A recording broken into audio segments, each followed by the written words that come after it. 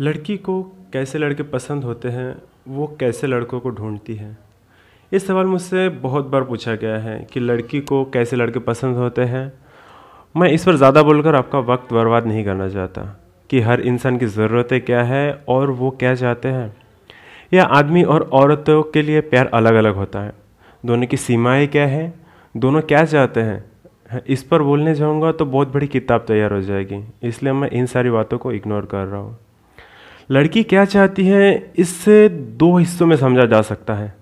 पहला व्यापक और प्रत्यक्ष, और दूसरा है विस्तृत और अर्थपूर्ण। अगर विस्तृत और अर्थपूर्ण तरीके से समझा जाए तो लड़की को उनके एज ग्रुप के हिसाब से समझना पड़ेगा।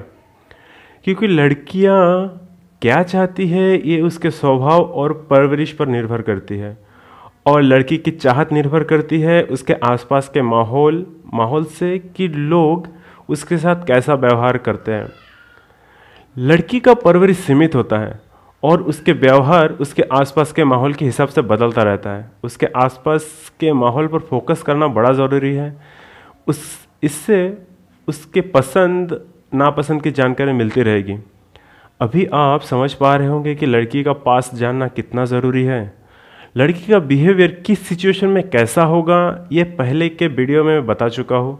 और अब जो बताने वाला वो भी बहुत ज़रूरी है। मैं पहला जो एज ग्रुप ले रहा हूँ, वो है चौदह से अठारह। इस एज ग्रुप की लड़कियाँ ज़्यादातर स्कूल या जूनियर कॉलेज में जाती है। इनको भी इनके लाइफ के बारे में ज़्यादा जानकारी नहीं होती, और ये ज़्यादातर मीडिया और इंटरनेट से अफेक्टेड होते हैं। ये ज़्यादा सोच विचार नहीं करते। ये लड़कियाँ बहुत ही ज़्यादा एम्बिशियस होती है। जो वो चाहती है, जो वो चाहती है जल्दी मिलने वाला, आसानी से मिलने वाला, इनको ज़्यादा पसंद होता है। और वे इनकार भी नहीं कर पाती। ये रिलेशनशिप को लेकर बहुत ही ज़्यादा इंटरेस्टेड होती है। इस एज ग्रुप की लड़कियाँ सपनों में जीती है। ये वही लड़कियाँ हैं जो सपनों के राजकुमार का इंतज़ार कर रही होती है। ये ज़्यादातर टीवी शोज़ से प्रभावित होती है और अपनी ज़िंदगी को भी टीवी शोज़ जैसा बनाना चाहती है। ये लड़कों को, लड़कों में वो खासियत ढूंढती है जो इन्होंने टीवी या मूवी में देखा होगा। जैसे उनका हेयर स्टाइल, उनके चलने का तरीका, बात करने का तरीका, उनके देखने का तरीका तरीका लड़की इन सारी बातों से बातों को नोटिस करती है। ये लड़कियाँ काल्पनिक दुनिया में रहना चाहती हैं। इनको पता होता है कि भूत प्रेत कुछ भी नहीं होता, पर इनको इस पर बात करना बहुत पसंद होता है। ये कल्पना से बाहर आना ही नहीं चाहती। जैसे लड़के नशा करके खो जाते हैं, वैसे ही ये इन बातों को, बातों से लड़कियाँ खो जाती है।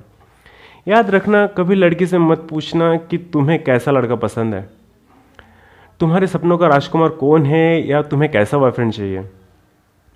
और कभी ये अगर बताए कि मुझे मुझे ऐसा लड़का चाहिए या मेरा बॉयफ्रेंड ऐसा होगा तो उसे सीरियसली मत लो। क्योंकि ये लड़कियाँ खुद नहीं जानती कि इन्हें क्या चाहिए होता है। वो सिर्फ़ ऐसा बताकर रिएक्शन चेक करती है कि आप क्या करते हो। कभी इन लड़कियों की तारीफ़ मत करो। बजाय इनके तारीफ़ करने के या ढूँढने के कि वो क्या चाहती है, उन्हें बताओ कि तुम क्या चाहते हो। और उन्हें ये भी बताओ कि आपका चॉइस बेटर है। सीधे सीधे उनकी इंसल्ट मत करो। उन्हें ऐसी बात तो ऐसा बताओ कि जी टीवी पर बहुत ही अच्छा सीरियल है।